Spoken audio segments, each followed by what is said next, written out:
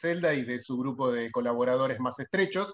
Eh, lo único que hice fue revisarlo y corregir una coma, porque me gusta tener algo para decir, eh, y, no, pude, no pude tener la última palabra, pero pude tener la última coma, que no es poco. Eh, montarnos un poquitito sobre lo que veníamos hablando, sobre mm, algunas diferencias pequeñas, pero que existen entre eh, la modalidad completamente virtual y otras que, recurren temporal, accidental o eh, ocasionalmente a la virtualidad.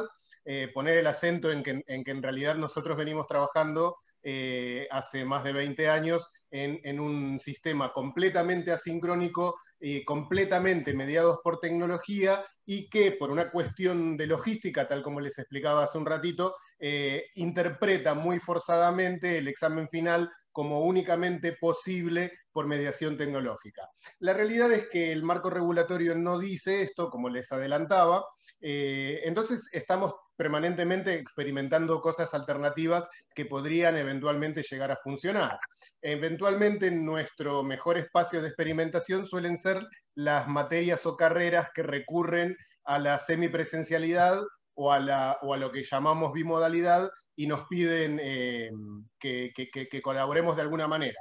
Eh, estamos siempre abiertos a eso, cualquiera que quiera eh, experimentar en el futuro algún tipo de, cuestión vinculada a la mediación tecnológica, sabe que tienen toda nuestra atención y todo nuestro interés para colaborar.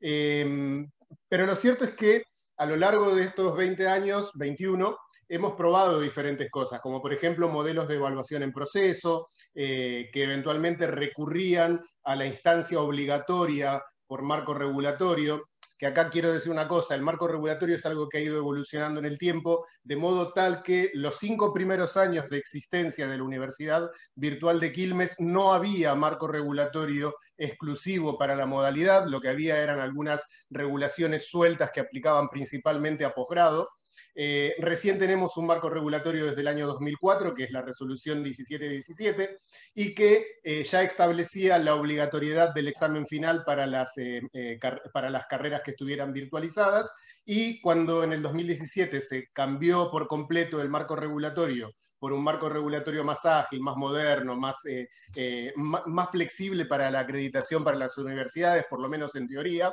eh, igual conservó esta característica de la obligatoriedad del examen final. Entonces, esto es una diferencia principal. Nosotros tenemos una cantidad enorme de estudiantes distribuidas por todo el país, aproximadamente una cantidad de estudiantes que, nunca baja de los 7.000, que va oscilando, pero que nunca baja de los 7.000 estudiantes, distribuidos en todo el país, y que eh, la solución del examen final presencial en términos de logística termina siendo siempre la mejor opción, pero no es la única posible.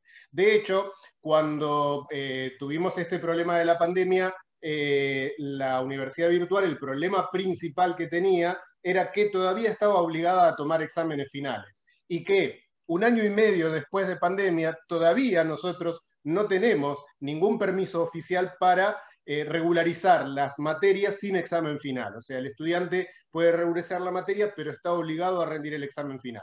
Esto es una, una diferencia, no existe en modo alguno en ninguna materia bueno, sí, en tres materias. Esto en todo caso, si es necesario, lo podemos aclarar. Hay tres o cuatro materias que tienen este permiso, que es un permiso que otorgamos como universidad en ejercicio de la autonomía, pero por completo por fuera del marco regulatorio que nos obligaría a tomar también esos exámenes finales, que son, básicamente son, eh, lo, convertimos en requisitos, eh, como por ejemplo la suficiencia idiomática, en algunas carreras la suficiencia informática, etcétera, eh, pero que en realidad cuando, cuando forman parte del plan de clases tendrían que ser con exámenes finales. Bueno, no importa, todo esto era para retomar un poquitito donde lo dejamos, la verdad es que en realidad nos interesa mucho más lo que tenemos en común, así que paso a presentar muy brevemente a Griselda para, bueno, Griselda es de quien hablaban hoy algunos colegas.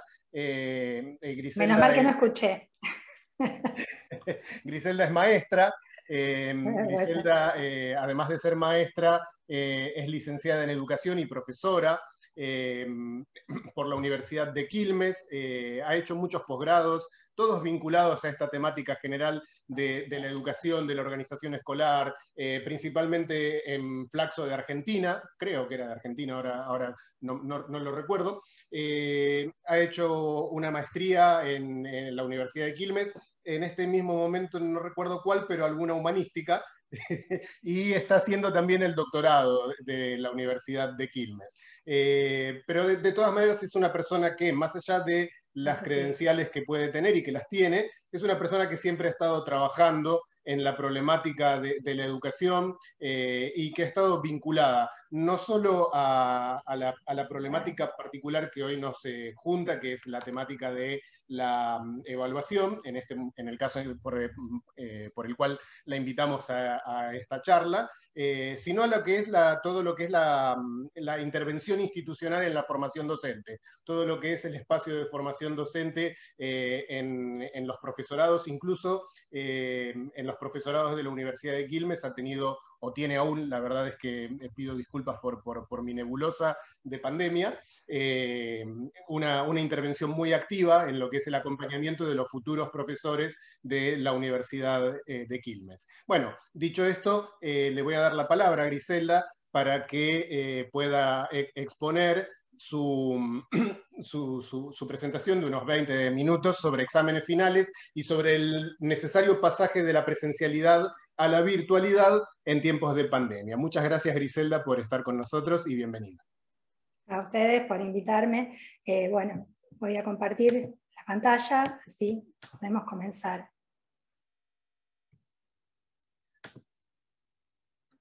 ¿Se ve ahí sin problemas?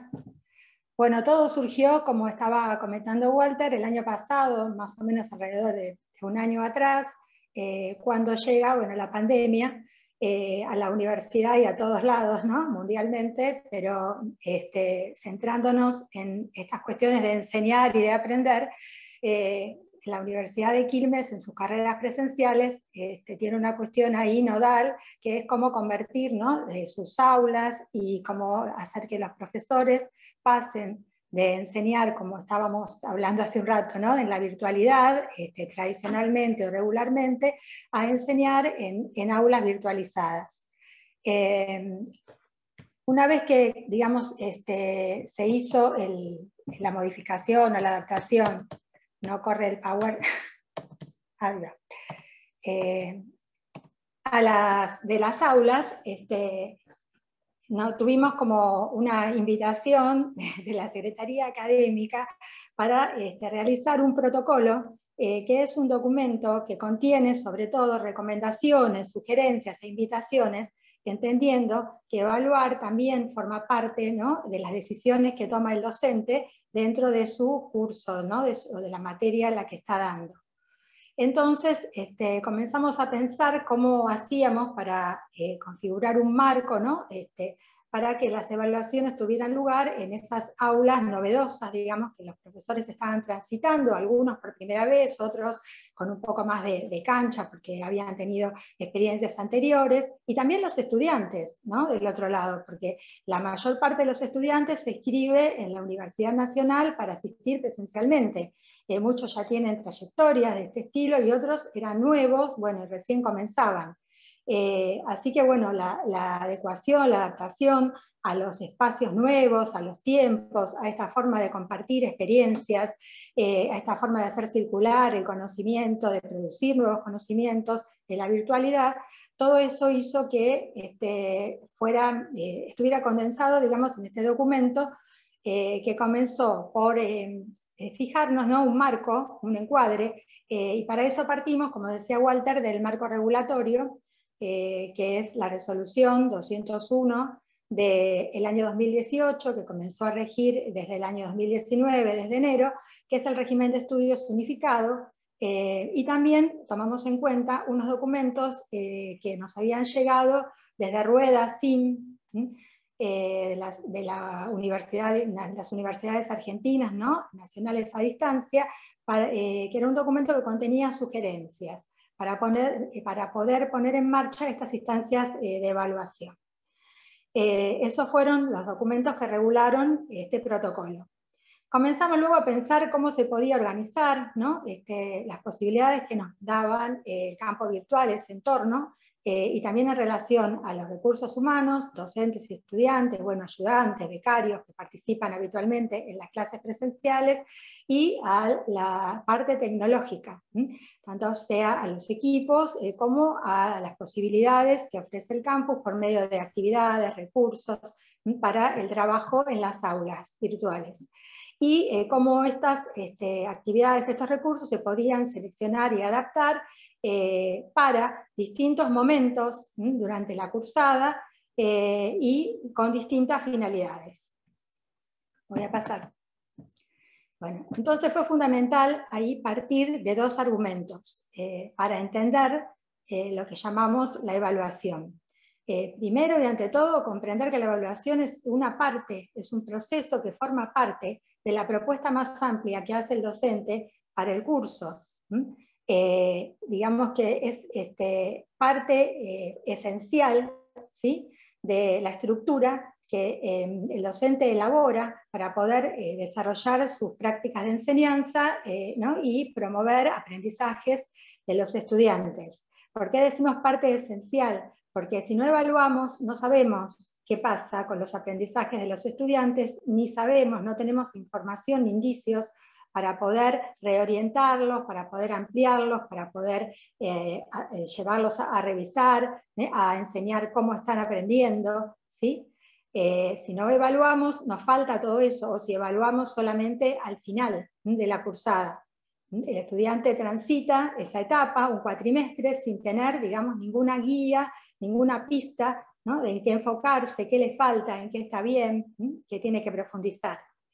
Eh, por eso decimos que como la evaluación también es democrática, tanto como la enseñanza, hablamos de una justicia ¿no? en la distribución de los conocimientos, eh, en la forma de, producirlos.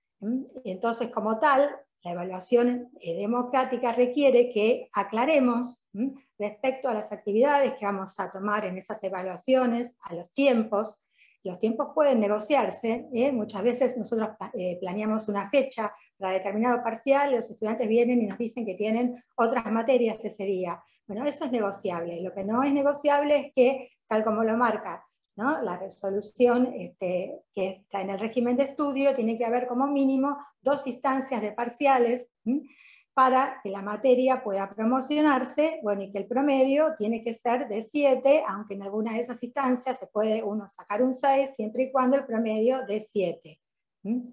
Eh, también este, ese mismo régimen nos aclara que si el estudiante no logra eso, pero se saca un 4, va a tener instancias. Va a tener una instancia primero de recuperación de un parcial y va a tener instancias de un integrador dentro del plazo de esa cursada. Y si aún así no llega a obtener la nota para promocionar eh, y llega al 4, va a quedar pendiente de aprobación la materia y entonces va a tener dos oportunidades más ya fuera, ahí, o sea, una vez que la eh, cursada finalizó ¿no? y antes de que comience el otro cuatrimestre, este, para poder eh, dar un examen integrador, que es como un examen final de acreditación de esa materia.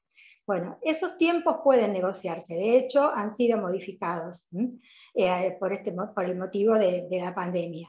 Eh, lo que no se negocian son esas condiciones, digamos. Eh, para eso también el docente tiene que tener en claro que los criterios con los que va a evaluar, si es que va a usar rúbricas, cómo va a valorar, cómo va a corregir, también tienen que ser públicos y estar en conocimiento del estudiante previamente a la toma de esa evaluación. Bueno, este, partiendo entonces de estos dos argumentos centrales para definir la evaluación, eh, estuvimos observando, bueno, qué había en ese campus ¿no? Eh, virtualizado de presencial que es distinto al que nosotros manejamos en la parte virtual. Eh, y también este, pusimos el acento en que hay otras carreras, otras disciplinas eh, por ejemplo, bueno, justamente de ciencia y técnica, que en virtual recién este, debutó, digamos, en el tercer periodo del año pasado. Eh, las carreras de sociales, por ahí ya, este, y del departamento de economía o de arte, bueno, tenían como ya este, un, conocimiento también en la parte virtual, muchos profesores eran bimodales, como decía Walter. Bueno, entonces empezamos a pensar este, cómo hacíamos para articular estas actividades que estaban en el campus en estrategias que tomaran de base las diferentes disciplinas ¿eh? una estrategia pedagógica, una estrategia didáctica que utilizara la mediación de las TIC para evaluar, eh, centrándose en los recursos propios del campus y también teniendo en cuenta que el campus permite ¿eh? adicionar o este, conectarse con algunas aplicaciones externas. Como dije antes también, de acuerdo al momento de la cursada, iba a haber distintos tipos de evaluaciones, de diagnóstico, de proceso, final, integradora, y distintos tipos de evaluación, la evaluación formativa o la evaluación sumativa.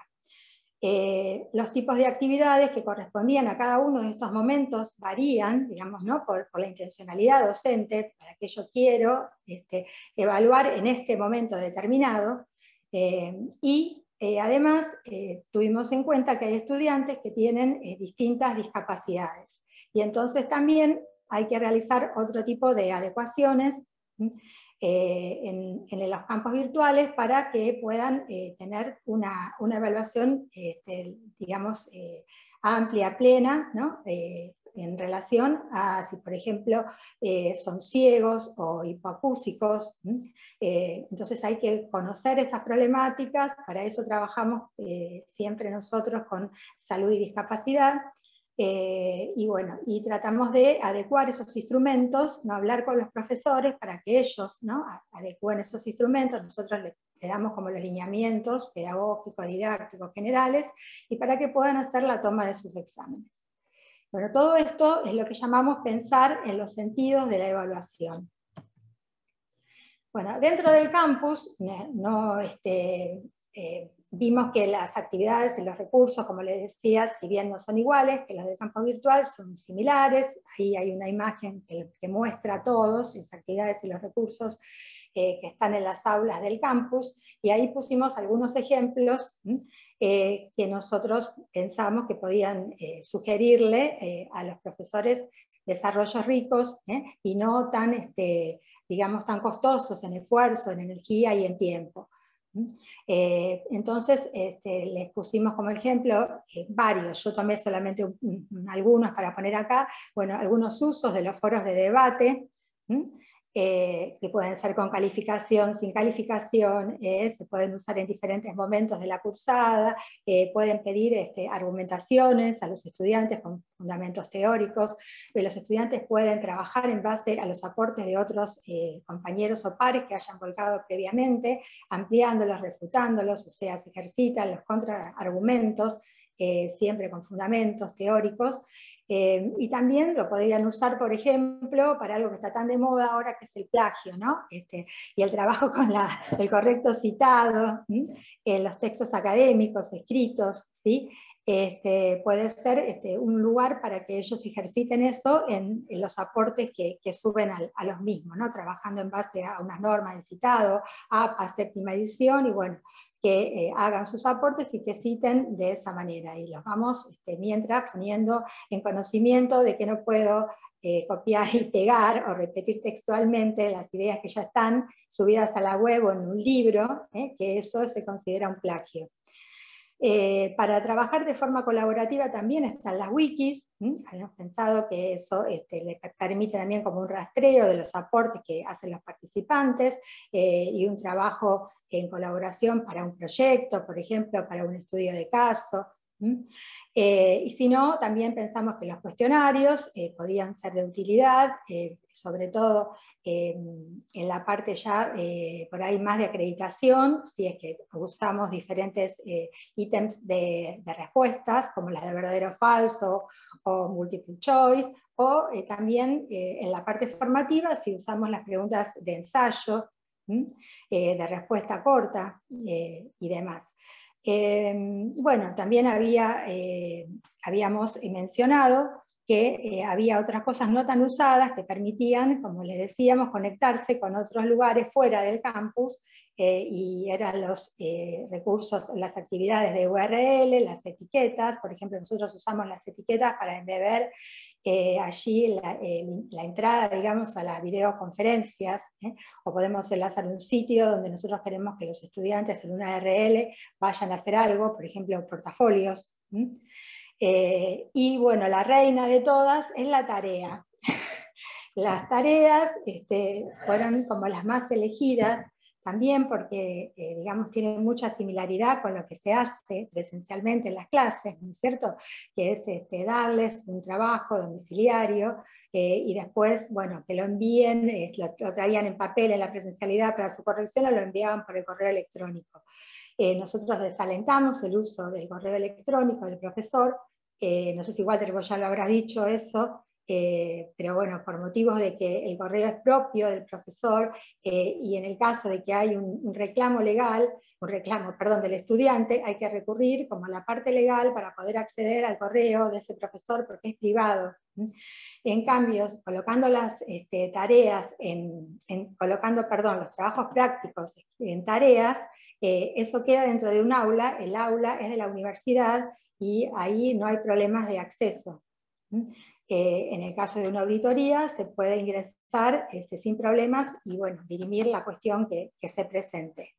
Eh, también, como es una época lamentable de, enfermedades y demás, nosotros no tenemos este, seguridad eh, todos de estar sanos, ¿no es cierto? Este, y, poder este, afrontar situaciones donde el profesor no está presente, porque le pasó algo, este, para abrir el correo. Eh, entonces, todo lo que es privado queda en, la parte privada y tratamos de eh, conducir todo a las herramientas institucionales.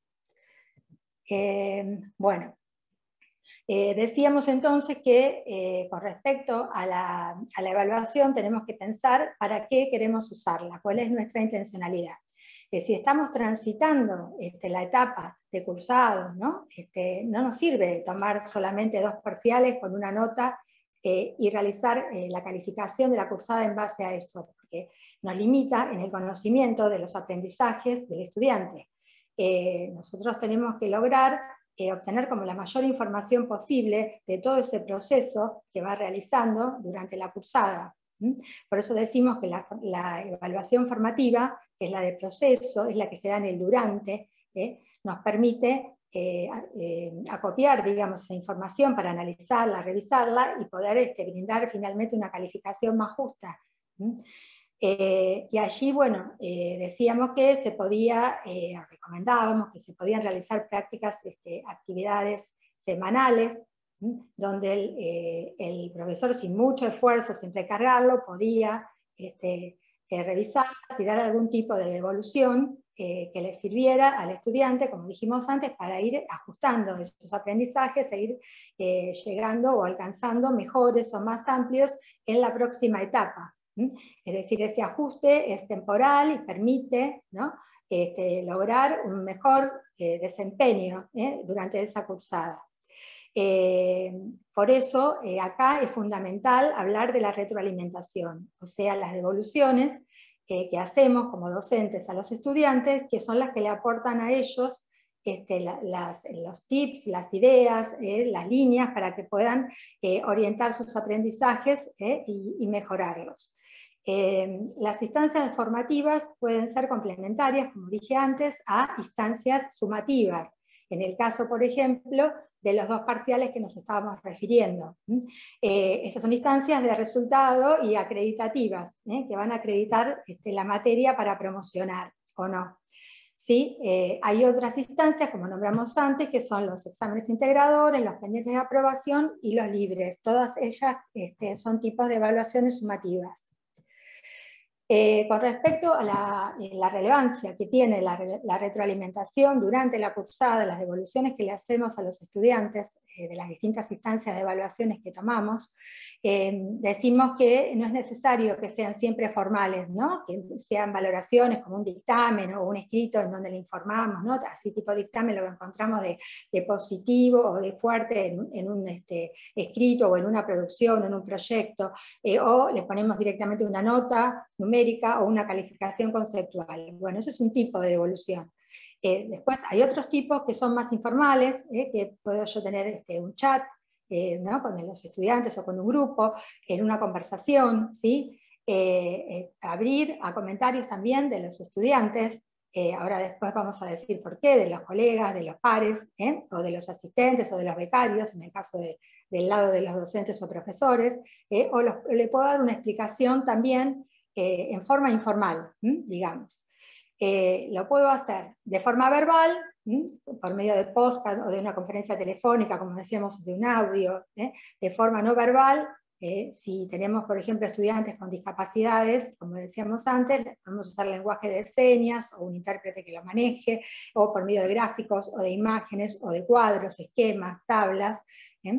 Lo podemos hacer de forma escrita, bueno, ahí están las distintas extensiones de los documentos que podemos este, eh, colocar en, la parte de la evaluación como retroalimentación, o podemos también hacer este, o presentarles un, audiovisual en donde se trabaje con, esos resultados, ¿no? digamos, este, o con, eh, que obtenimos de esa evaluación, de las diferentes evaluaciones que ellos subieron al espacio de tareas, por ejemplo. Eh, es importante señalar quiénes pueden realizar la evaluación y que no es siempre y exclusivamente el profesor o el asistente o el becario, eh, sino que hay diversas este, formas de, efectuar esas, devoluciones o esas correcciones y que están eh, digamos, supeditadas, bueno, en primer término, como sabemos todos, al profesor a cargo del curso, que se llama heteroevaluación, o a los compañeros o pares por medio de coevaluaciones, eh, o el mismo estudiante también se puede evaluar su desempeño, la forma en que piensa que está aprendiendo, ¿eh? Eh, cuáles son los obstáculos a superar, cuáles son sus potencialidades, sus fortalezas, y eso constituye una autoevaluación. Estos tres, digamos, formas de, hacer esas devoluciones, de las correcciones y devolver, constituyen una parte de lo que se llama confiabilidad intrínseca de las pruebas. A veces nosotros pensamos que la validez de las pruebas y la confiabilidad están en que tengamos una videoconferencia donde yo lo pueda controlar si se está copiando o no. ¿eh? Si bien eso es importante, ¿sí? Este, habla de una condición externa a la prueba. Eh, yo acá estoy mencionando condiciones que son internas, intrínsecas y esenciales de la misma prueba que yo estoy, o evaluación, o instancia de evaluación, eh, que yo estoy desarrollando. Bueno, eh, en cuanto a las evaluaciones este, sumativas o acreditativas, eh, hablábamos de eh, integradores o de libres, o pendientes de aprobación, como ustedes le dicen a los integradores, en la presencialidad. Y también no necesariamente tienen que ser escritos, pueden ser orales, los podemos tomar individuales o por grupos, eh, ahí sí, este, con la ayuda de una videoconferencia.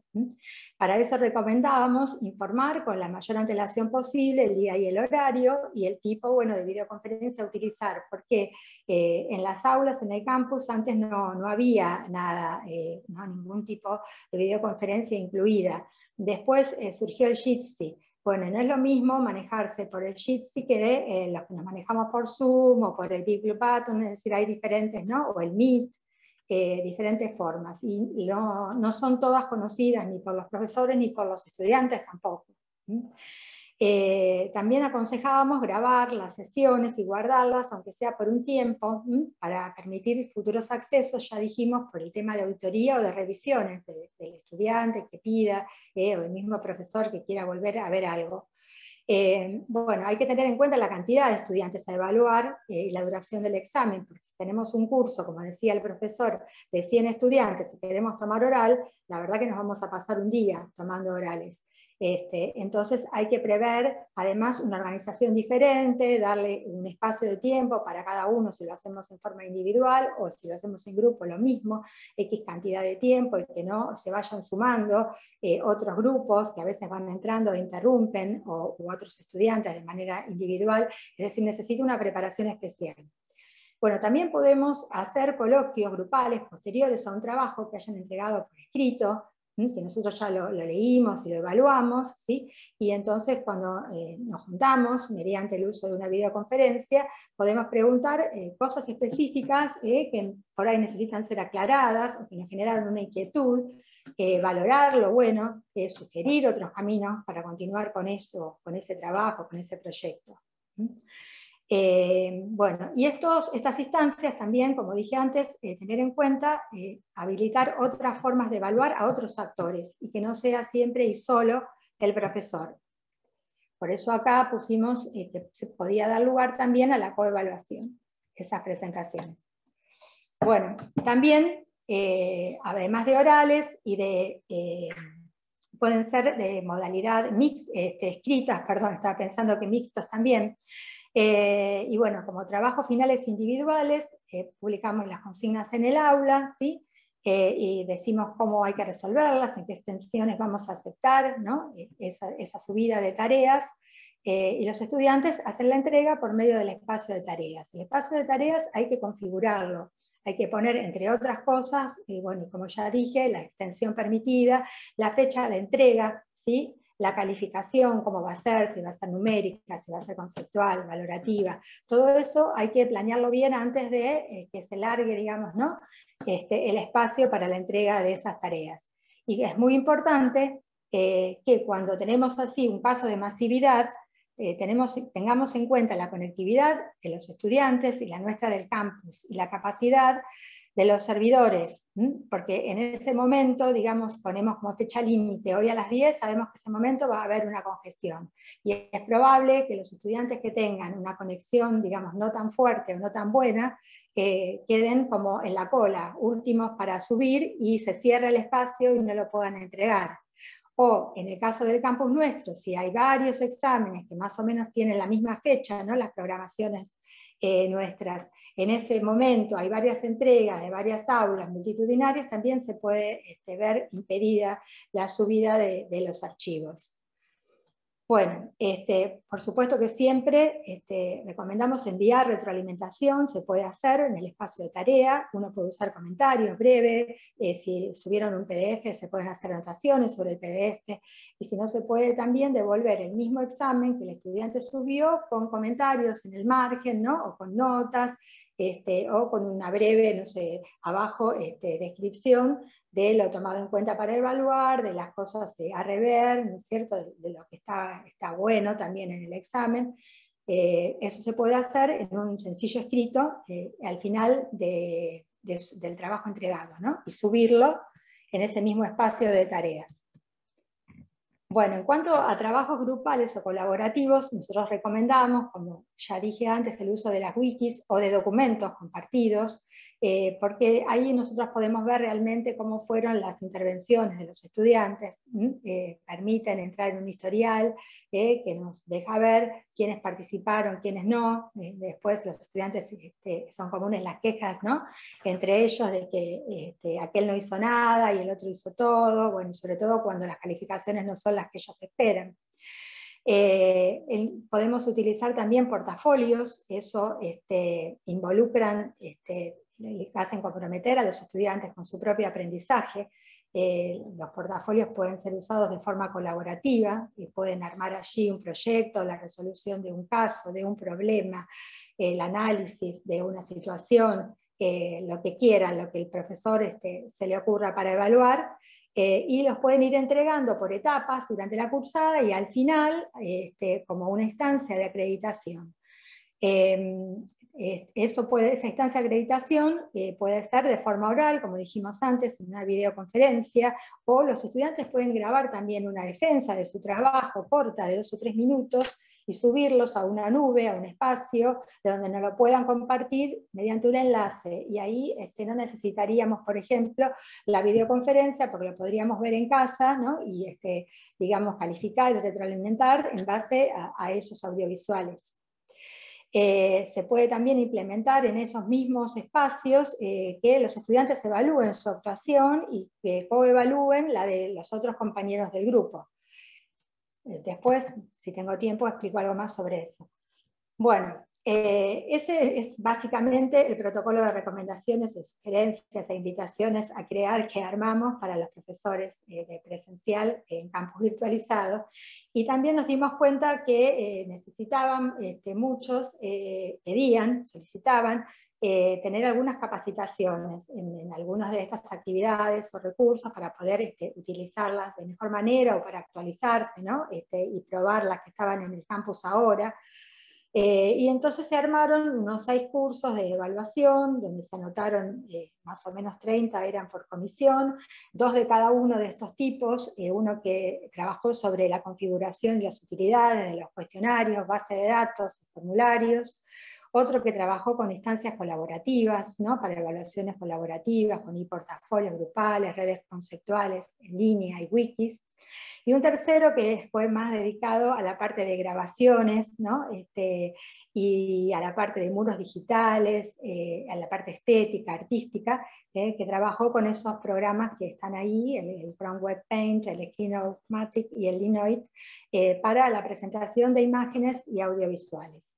Estos cursos fueron teórico-prácticos porque en ellos los, profesores hicieron este, alguna instancia de evaluación para sus propias materias, cada uno dentro de la disciplina que enseña, y las presentaron también, bueno, consultaron dudas y tuvieron devoluciones de, no solo del profesor a cargo del curso, sino también del resto de, de sus colegas que participaron del curso.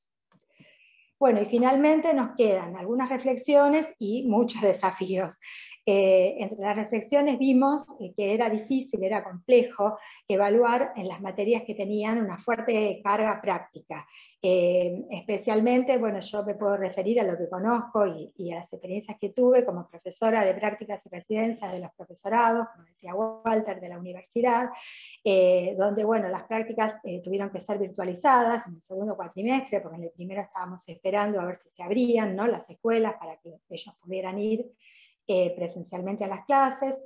Eh, bueno, y eso costó bastante organizarlo, eh, se tuvieron que conseguir distintas aulas de, dos niveles distintos, porque los profesorados son para secundario y para nivel superior. Bueno, eso fue complejo y también fue complejo todo el, digamos, la actuación de los practicantes, que si bien este, habían dado poca clases, pocas clases presenciales o ninguna en muchos casos, bueno, tuvieron que salir directamente a darlas en la virtualidad.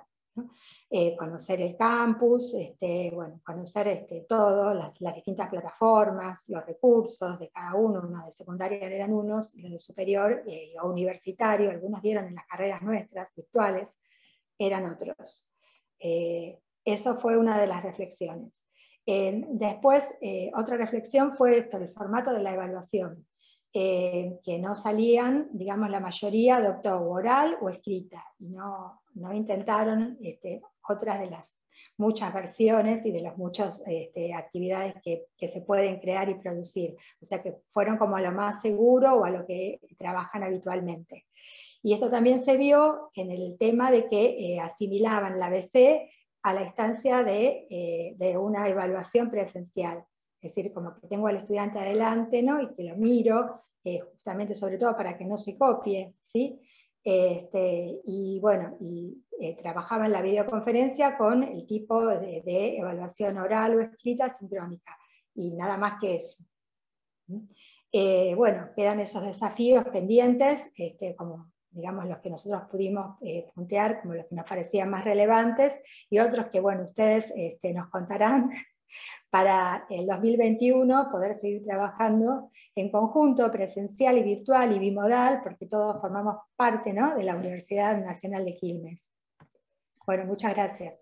No, gracias a vos, Griselda. Eh, tengo que, disculparme porque la verdad es que tendría que haberte interrumpido mucho antes, pero bueno, como estaba tan interesante la, presentación, eh, nada, me, tomé la libertad y el atrevimiento dejarte seguir y comprometí un poco la continuidad de la jornada, porque teníamos una hora de, terminación que, culpa mía no van a llegar.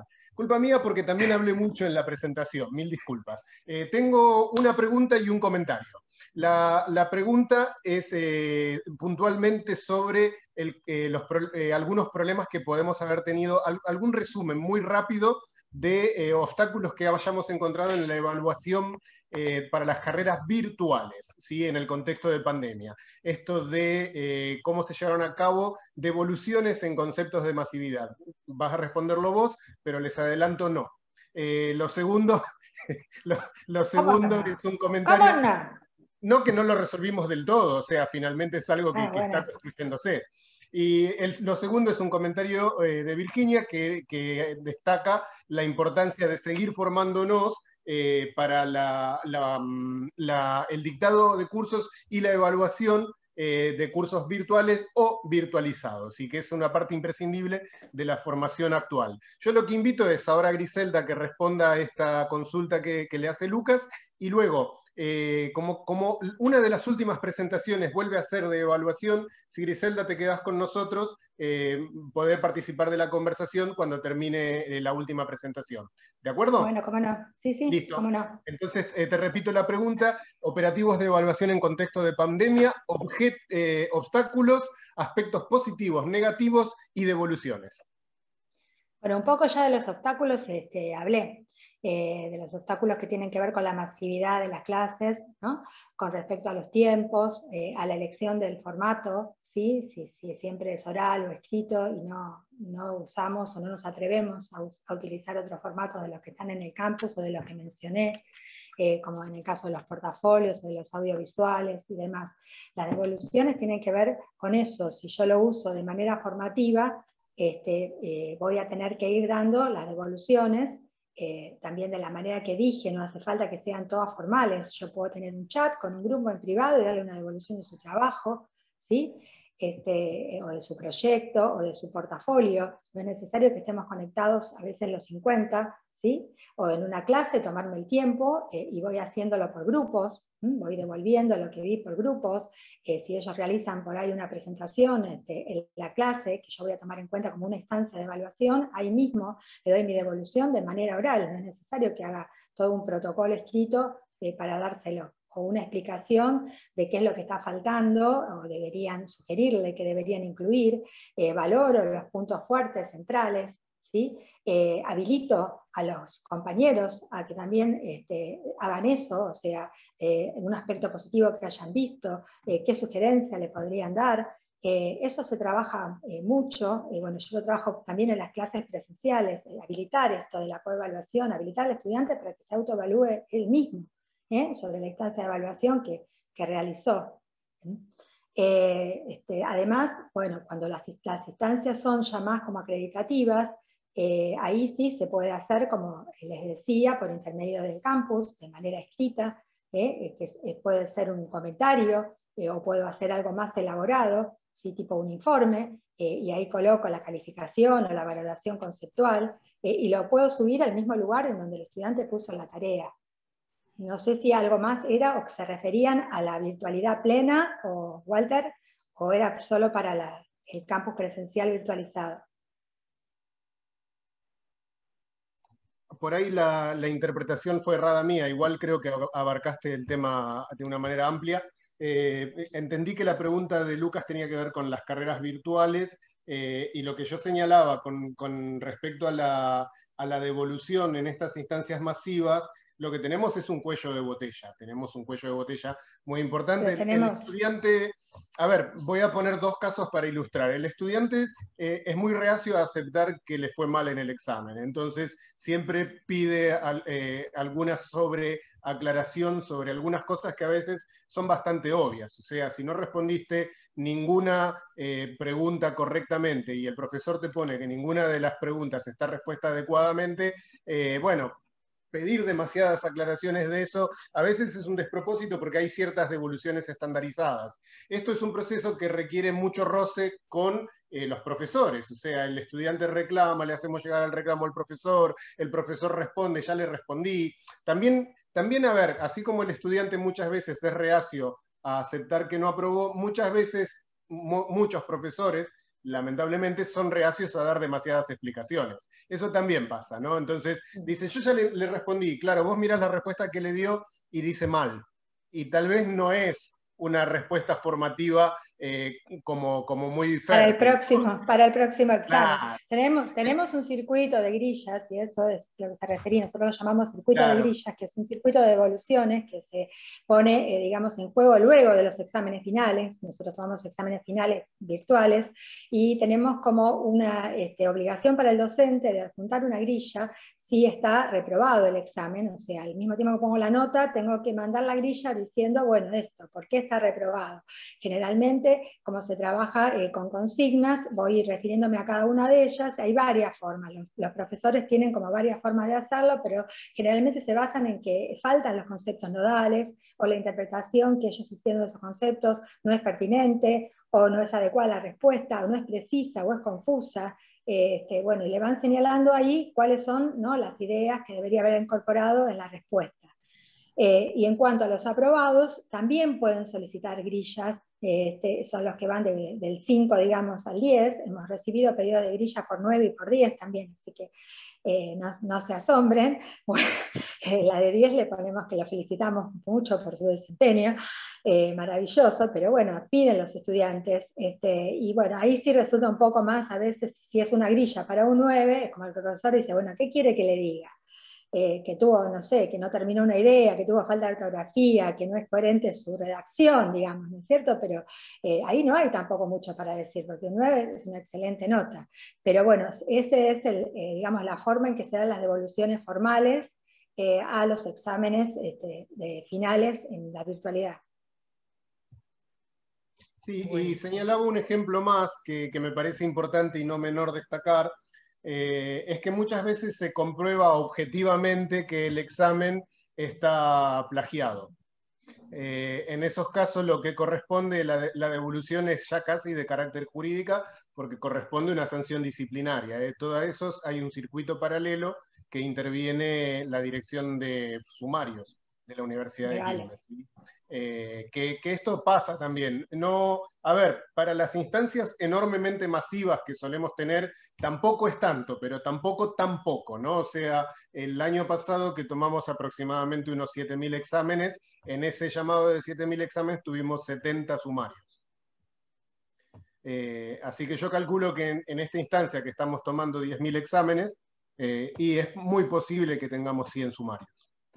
Una cosa nueva, un obstáculo sería también dentro de lo que pedían, son las redes sociales, o sea, todo el intercambio por celular, por grupos de WhatsApp y demás. Eso atenta, digamos, enormemente en el momento de, que están haciendo los exámenes finales, están con el celular pidiendo, ¿no es cierto?, este, respuesta a la 1, ¿eh? este, no sé, es A, B, C o D, total con apretar una letra ya está, ¿no? En el caso, por ejemplo, de un cuestionario y que es seleccionar la opción correcta, eh, así que bueno, esas son todas cosas nuevas también, que para nosotros son desafíos que van surgiendo, eh, que vamos estudiando qué hicieron en el resto del mundo, eh, que están este, como más, tienen otras herramientas por ahí más avanzadas, ¿no? de, armar esto en las universidades europeas, este, que se dedican a educación a distancia. desde hace muchos años antes que nosotros, de las cuales nosotros también tomamos ¿no? este, la iniciativa o el modelo, demás, vamos siempre leyendo qué hay de nuevo, qué se ha hecho, y en realidad como dice Walter, nadie ha podido este, parar en los casos de copia o de plagios, ni usando eh, cosas sofisticadas, ¿no? como el e-proctoring, ¿sí? o como los datos biométricos, eh, o como la conjugación de declaraciones juradas, y te aviso que te voy a llamar eh, a un oral si es que veo que el examen no está, no me parece, ¿no? algunos puntos, o sea, como que el profesor puede requerir la presencia oral para confirmar que lo que está ahí lo sabe, lo escribió, lo puede decir, repetir. Este, está todo eso en camino, en tránsito, ¿no? Digamos. Bueno, eh, no, es que, no es que esté por completo cerrado el tema, pero me parece por ahí importante que sigamos y dejamos la, eh, la, participación de Griselda pospuesta a, a, los debates que se puedan dar después de la presentación del trabajo de evaluación que hay eh, dentro de una hora más o menos. Eh, así que bueno, muchas gracias Griselda, gracias a todos, mil disculpas porque, porque, soy un bocazas y sigamos. Gracias.